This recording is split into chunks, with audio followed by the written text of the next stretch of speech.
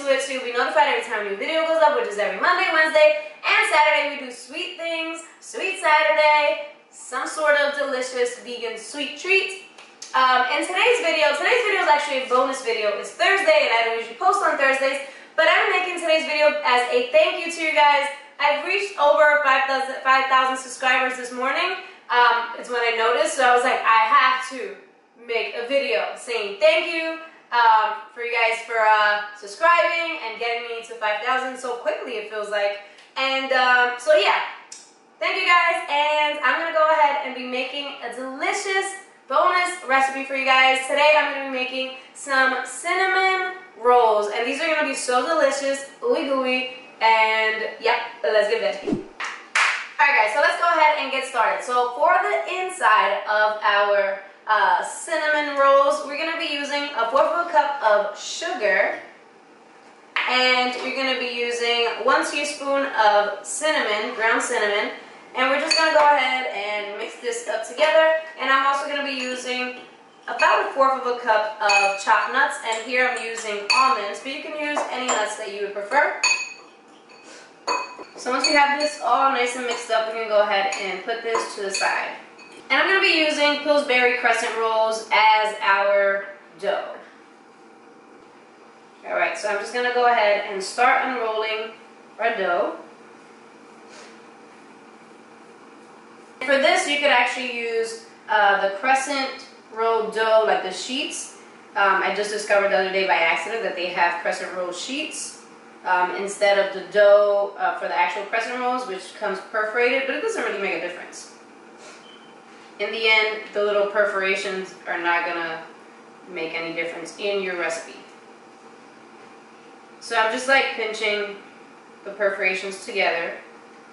Next here I have one, I'm sorry, two tablespoons of uh, melted vegan butter. And I just splashed a little bit of vanilla extract just to add a little extra flavor. And next I'm gonna go ahead and just put some of this butter onto our uh, dough. And then I'm going to go ahead and just spread it around with my hands. You can use a brush. Um, I don't have a brush. I don't know why. I just don't have a brush because I use my hands. But uh, yeah, you can use a brush if you like. And next, we're just going to go ahead and add in our filling.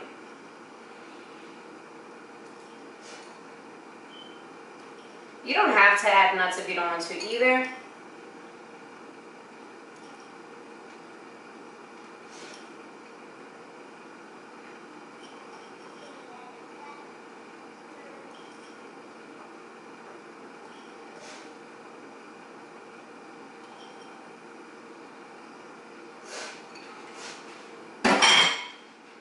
And then I'm just going to spread it out a little bit with my hands. This smells so delicious, you guys.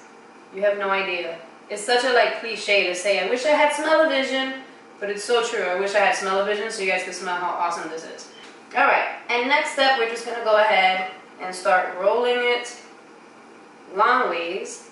Just make sure you get it like as tight as you can. You see little perforations, it's not a big deal. I'm going to go ahead and be cutting these into about an inch thick rolls.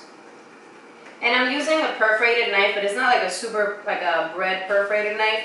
It's just like a, a very small perforated knife. You don't want like the dough dragging all over the place, but you want it to be easier to, to slice. So all the way across, one inch thick.